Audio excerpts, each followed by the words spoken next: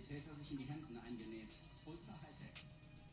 Okay, vielleicht war dieser Banküberfall doch